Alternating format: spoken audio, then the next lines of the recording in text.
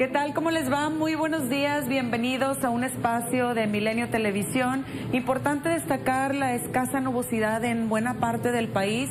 Lo más relevante es que el día de mañana, durante la tarde y la noche, entre un nuevo sistema frontal. Este es débil y genera algunas lluvias, chubascos, sobre todo en nuestra región en las próximas horas. Así que por lo pronto, vámonos con la información para la Ciudad de México. 31 grados la temperatura máxima, cielo parcialmente soleado, chubasco aislado estará presente. Para el domingo también persisten las lluvias, 32 y para el lunes con 29 grados la temperatura máxima. Para la ciudad de Monterrey, cielo soleado y sobre todo muy caliente, 42 grados la temperatura máxima para que lo tome en consideración. Hay que hidratarse muy bien.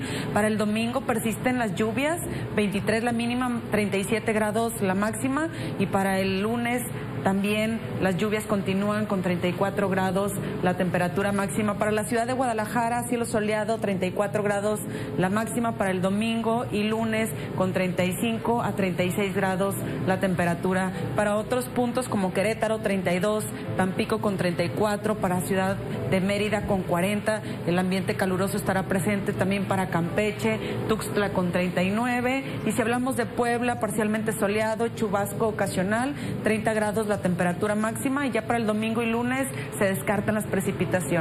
Estos fueron los detalles y el pronóstico del tiempo. Que sigan teniendo un excelente día. Cuídense mucho.